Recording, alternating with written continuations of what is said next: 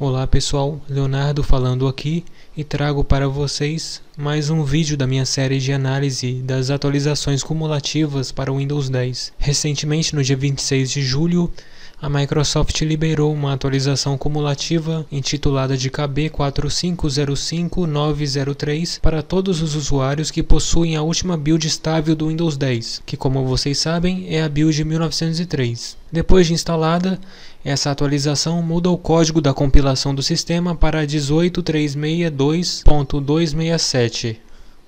Ao contrário das atualizações anteriores, que focavam especificamente em correções de segurança, essa atualização massiva traz também melhorias na performance do sistema, então é extremamente importante que vocês instalem a mesma.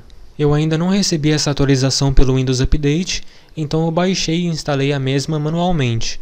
Se você quiser fazer o mesmo, basta navegar até o catálogo da Microsoft, procurar pela atualização e realizar o download manual da mesma para a arquitetura do seu sistema. Se você nunca baixou atualizações manualmente, peço que leia meu artigo no meu blog, porque lá eu ensino passo a passo a como fazer isso, beleza?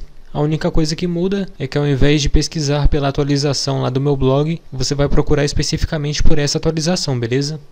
Como vocês podem ver, o changelog dessa atualização é enorme e eu tomaria muito tempo para explicar correção por correção, então destacarei só as principais. Então essa atualização corrige um problema que impede que o reconhecimento facial do Windows Hello funcione após a reinicialização do computador.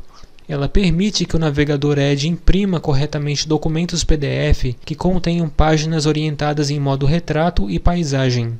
Ela permite que o navegador Edge abra arquivos PDFs que estão configurados para serem abertos apenas uma única vez. Ela atualiza um problema que pode exibir cores incorretamente na hora de exibir imagens em painéis de exibição de 10 bits. Ela atualiza um problema que pode impedir que você altere o brilho da tela após o computador sair do modo de suspensão ou hibernação.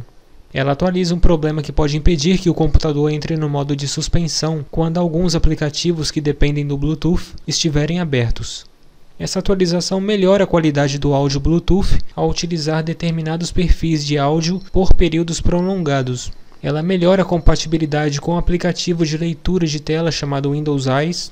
Ela garante que o menu iniciar funcione perfeitamente quando você criar novos usuários e logar no sistema através deles corrige um problema que fazia com que a interface do Windows 10 parasse de responder por vários segundos quando você utilizava o scroll do mouse dentro de uma janela que tivesse janelas herdeiras abertas dentro dela. Janelas herdeiras, ou Child Windows em inglês, são essas janelinhas que você acessa dentro de uma janela principal, como essa que vocês estão vendo aí na tela.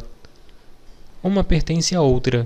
Essa atualização também corrige um problema que impede que um emulador de Android se inicie no sistema, no caso uma máquina virtual simulando o sistema operacional Android. E por último, essa atualização atualiza os dados de fuso horário do Brasil. Mas claro, como disse a priori, essa atualização inclui inúmeras outras melhorias e correções tão importantes quanto estas que eu destaquei. Mas como vocês podem ver, mais uma vez a lista é muito grande, beleza? Em relação aos erros presentes nessa atualização, são basicamente os mesmos erros presentes na atualização anterior relacionados ao sandbox do Windows e ao serviço do Pre-Boot Execution Environment, mas eu particularmente não presenciei mais nenhum outro erro. Enfim, então essas são as novidades dessa atualização. Então baixem ela instalem no sistema para receber as melhorias citadas, beleza?